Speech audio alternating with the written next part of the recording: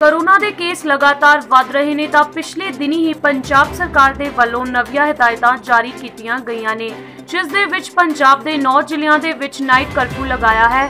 ਤਾਂ ਅੰਮ੍ਰਿਤਸਰ ਦੇ ਵਿੱਚ ਨਾਈਟ ਕਰਫਿਊ ਦਾ ਪਹਿਲਾ ਦਿਨ ਹੈ। ਅੰਮ੍ਰਿਤਸਰ ਦੇ ਡਿਪਟੀ ਕਮਿਸ਼ਨਰ ਗੁਰਪ੍ਰੀਤ ਸਿੰਘ ਖਹਿਰਾ ਵੱਲੋਂ ਪਹਿਲਾਂ 11 ਵਜੇ ਤੋਂ ਲੈ ਕੇ 5 ਦਾ ਸਮਾਂ ਸੀ। ਤਾਂ ਅੱਜ ਉਹਨਾਂ ਵੱਲੋਂ 9 ਵਜੇ ਤੋਂ 5 ਵਜੇ ਦਾ ਸਮਾਂ ਕੀਤਾ ਗਿਆ ਹੈ, ਜਿਸ ਦੇ ਵਿੱਚ ਲੋਕਾਂ ਦੇ ਵੱਲੋਂ ਆਪਣੀਆਂ ਦੁਕਾਨਾਂ ਨੂੰ ਬੰਦ ਕੀਤਾ ਗਿਆ। ਤੇ ਕਾਫੀ ਦੁਕਾਨਾਂ ਖੁੱਲੀਆਂ ਵੀ ਨਜ਼ਰ ਆਈਆਂ। ਤਾਂ ਪਹਿਲਾ ਦਿਨ ਹੋਣ ਦੇ ਕਾਰਨ ਪੁਲਿਸ ਦੇ ਵੱਲੋਂ ਉਹਨਾਂ ਨੂੰ ਕਿਹਾ ਗਿਆ ਹੈ ਕਿ ਅੱਜ ਉਹ ਆਪਣੀਆਂ ਦੁਕਾਨਾਂ ਨੂੰ ਬੰਦ ਕਰਨ। ਅੰਮ੍ਰਿਤਸਰ ਤੋਂ ਸੁਖਵਿੰਦਰ ਕੋਹਲੀ ਦੀ ਰਿਪੋਰਟ, ਲਾਈਵ ਭਾਰਤ।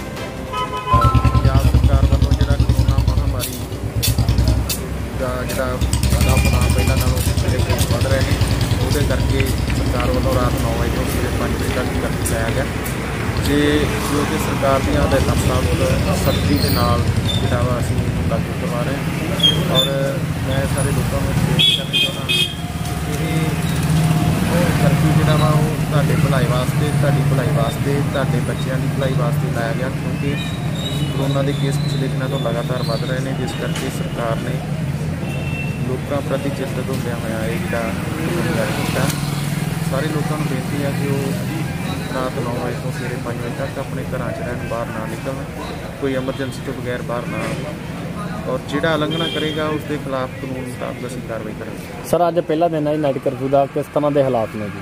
ਪਹਿਲੇ ਦਿਨ ਕਾਫੀ ਜਿਹੜਾ ਲੋਕਾਂ ਨੂੰ ਸਮਝਾਤਾ। ਪਹਿਲਾਂ ਹੀ ਸਾਡੇ ਵੱਲੋਂ ਜਿਹੜਾ ਵਾ ਸ਼ਾਮ 5 ਵਜੇ ਤੋਂ ਲੈ ਕੇ ਅਸੀਂ ਲਗਾਤਾਰ ਅਨਾਉਂਸਮੈਂਟ ਕਰ ਰਹੇ ਸੀ। ਜਿਹਦੇ ਕਰਕੇ ਲਗਭਗ 98% ਦੁਕਾਨਾਂ ਜਿਹੜੀਆਂ ਜਾਂ ਰੇੜੀਆਂ ਵਗੈਰਾ ਕਵਰ ਹੋਈਆਂ ਸੀ। ਪਰ ਫਿਰ ਵੀ 1-2% ਜਿਹੜਾ ਇੱਕਾ ਦੁੱਕਾ ਰਹਿ ਗਏ ਨੇ ਜਿਹੜੇ ਜਾਣਬੁੱਝ ਕੇ ਜਿੰਨਾ ਕੀਤਾ ਉਹਨਾਂ ਦੇ ਖਿਲਾਫ ਅਸੀਂ ਮੁਤਾਬਕ ਐਕਸ਼ਨ ਲਿਆ ਵੀ ਆ ਔਰ ਲੈ ਵੀ ਰਹੇ ਹਾਂ।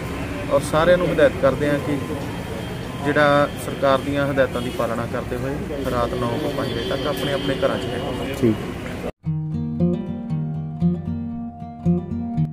ਹੁਣ ਘਬਰਾਉਣ ਦੀ ਲੋੜ ਨਹੀਂ।